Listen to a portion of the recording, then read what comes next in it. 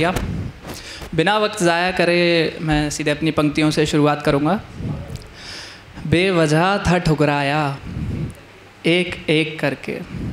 बेवजह था ठुकराया, एक एक करके। सबने था अपना रंग दिखाया, एक एक करके। बेवजह था ठुकराया, एक एक करके। सबने था अपना रंग दिखाया, एक एक करके। समझा था उस वक्त कि मर चुका हूँ मैं। समझा था उस वक्त कि मर चुका हूँ मैं, सबने था दफनाया एक एक करके। बेवजह बेवजह था ठुकराया एक एक करके, सबने था अपना रंग दिखाया एक एक करके। समझा था उस वक्त कि मर चुका हूँ मैं, सबने था दफनाया एक एक करके। बता दो उन हसीनाओं को कि ज़िंदा हूँ मैं अभी। बता दो उन हसीनाओं को कि ज़िंदा हूँ मैं अभी। सबसे बदला लूँगा। कुछ धन्यवाद। सभी के दोस्त सबसे ज़्यादा अज़ीज़ होते हैं। मेरे ख्याल से दोस्ती एक ऐसा रिश्ता है जिसकी उम्र नहीं होती, ताउम्र चलता है वो रिश्ता। तो मेरा एक अज़ीज़ मित्र है, उसका अभी दो दिन पहले ब्रेकअप हुआ।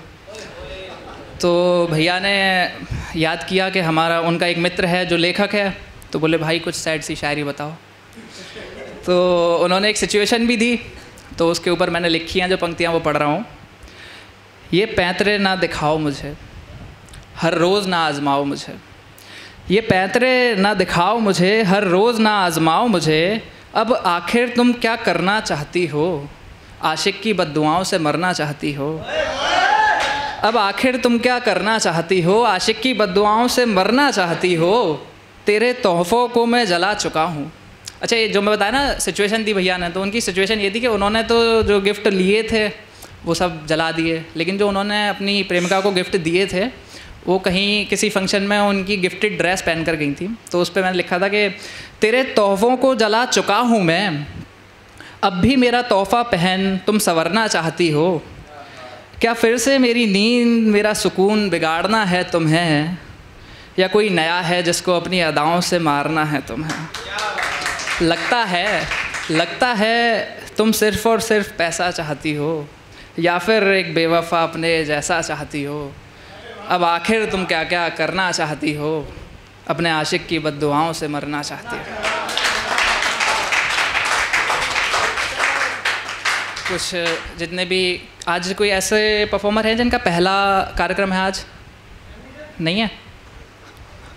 अच्छा तो ऐसे ही एक दिन हम भी आए थे तो उस पर मैंने लिखा है कुछ चार छोटी सी पंक्तियाँ हैं ज़्यादा नहीं है ये। आ, निवेदन करता हूँ, सुनिएगा कि बड़ी ही आस लेकर के शहर को जा रहा हूँ मैं, कि आशीर्वाद लेकर के गाँव से आ रहा हूँ मैं। सुनेगा मुझको भी ये जग, वो लम्हा दूर अब ना है। उसी लम्हे की खातिर तो आज भी गा रहा हूँ मैं, उसी लम्हे की खातिर तो आज भी गा रहा हूँ मैं।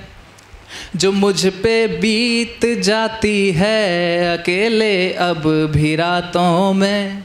ज़ुबाँ पे आ ही जाती है अक्सर बातों बातों में। खता जो इश्क में उसकी थी वो छुपा रहा हूँ मैं। भरी महफिल में खुद को बेवफा बता रहा हूँ मैं। बड़ी ही आस लेकर के। अच्छा कुछ पंक्तियाँ हैं जो इस मंच पे जब भी मैं आता हूँ, वो पंक्तियाँ मुझे हमेशा याद आ जाती हैं। तो कुछ उन पंक्तियों के साथ मैं फिर एक और शेर पढ़ूँगा, फिर अपनी जगह लूँगा। उसके कंगन की खन खन के शोर में खोए, उसके कंगन की खन खन के शोर में खोए, उसकी शादी के दिन हम अकेले रोए। ये बाजा ये बाजा उसकी बारात का लगता है, ये दूल्हा तो मेरा रकीब सा सस्ता है, कुछ ऐसे वो रात मुझे अधूरा कर गई, मेरे हिस्से में आई जुदाई इश्क पूरा कर गई। धन्यवाद। अच्छा चार पंक्तियाँ और हैं, वो पढ़ता हूँ पहले, फिर एक आखिरी शेर। ये लेख है उसे नज़र। ये लेख है उसे नज़र जो मेरी जीवन साथी है। ये लेख है उसे नज़र जो मेरी जीवन साथी है। रिश्ता तो मैं मान चुका, बस फेरे लेना बाकी है। एक दूजे के साथ बिना हमारी दुनिया आधी है। हम सफ़र, हम राही है, मैं कलम वो स्याही है। एक शेर है या जो भी है चार पंक्तियाँ हैं आखिरी। लोग रंग बदलते हैं। आ, सभी को सब तरह के लोग मिलते हैं। रंग दो तरीके के लोग होते हैं मेरे ख्याल से। एक होते हैं जो अपना रंग बदल देते हैं समय के अनुसार बदल जाते हैं। आप सभी की ज़िंदगी में मेरे ख्याल से बहुत आयत में आए होंगे। और कुछ चुनिंदा लोग ऐसे होते हैं जो आपकी ज़िंदगी का रंग बदल देते हैं आपका साथ निभाकर। तो लिख रहा हूँ कि लोग रंग बदलते हैं और बाँसुरी वाला वक्त बदलता है। लोग रंग बदलते हैं और बांसुरी वाला वक्त बदलता है।